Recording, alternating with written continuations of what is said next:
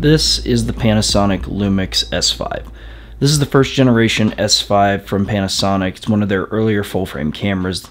This camera came out in September of 2020, making it just about three years old at this point. Even with this body starting to show its age, I believe it's an incredible value when it comes to stills photography, and it's really good for video, with one slight caveat we'll get into. In Panasonic's eyes, the S5 has already been replaced by the S5 Mark II and the S5 Mark II X, both of which are highly capable cameras, great autofocus, good image quality, all around really good performing cameras, but that doesn't mean this little guy is not without its merit. This camera boasts a 24 megapixel sensor with an impressive 14 and a half stops of dynamic range or just shy of 14 and a half uh, the actual number sits at 14.45 stops, which is pretty good considering the price tag of this camera. The sensor handles low light conditions really well. I get clean images into 3200 and then everything beyond that is fairly usable, especially for video. It's just pretty clean all the way up through the range. Once you start getting past 6400, you can start to kind of pixel peep some noise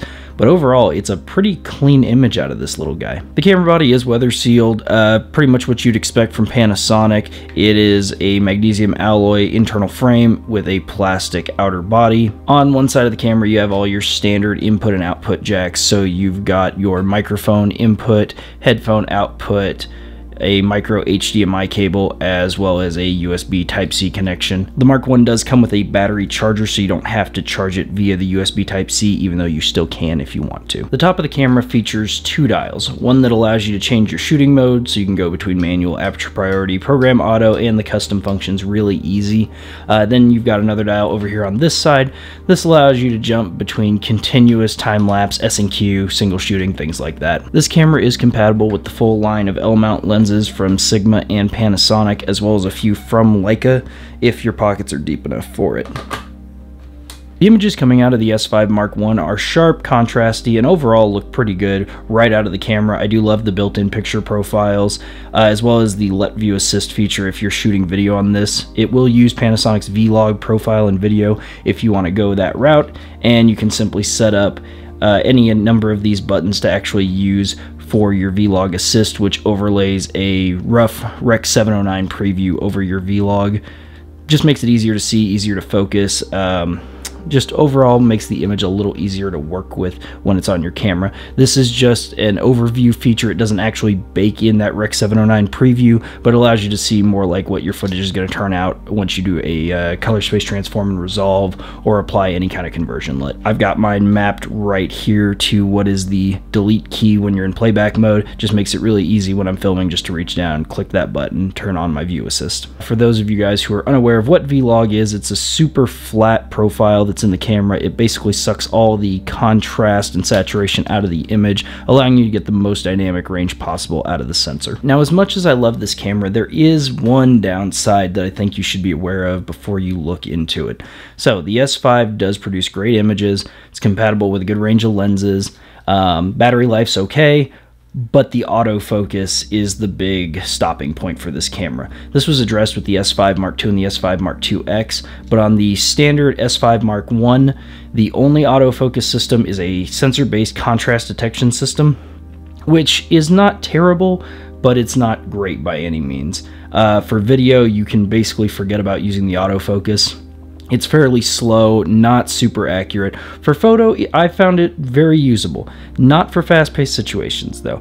I've shot a few uh, parts of a wedding on this original S5, and it was okay, but it did hunt a little bit in the darker areas even though the images turned out good, the autofocus was just not quite up to the task.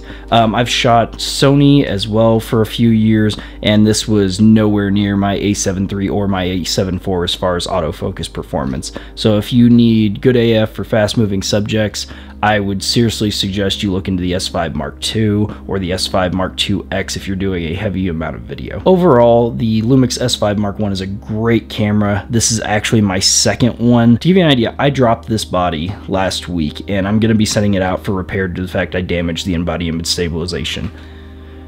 But in the meantime, I bought a brand new uh, Lumix S5 Mark I. The reason I'm able to do that is because right now this body retails cheaper than Sony's newest APS-C body. You can find this camera for around $1,300 body only, brand new, and it takes incredible photos for that price.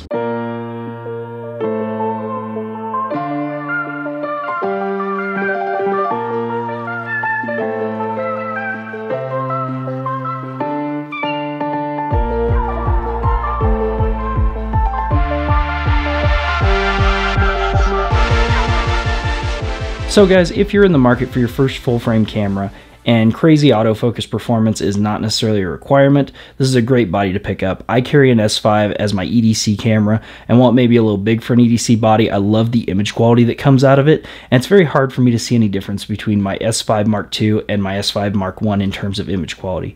The autofocus is really the only pressing issue with this body, so like I said, if it's not a factor and you're not shooting fast moving things or you can use manual focus for your video projects, it's a great body retailing at only about $1,300 right now.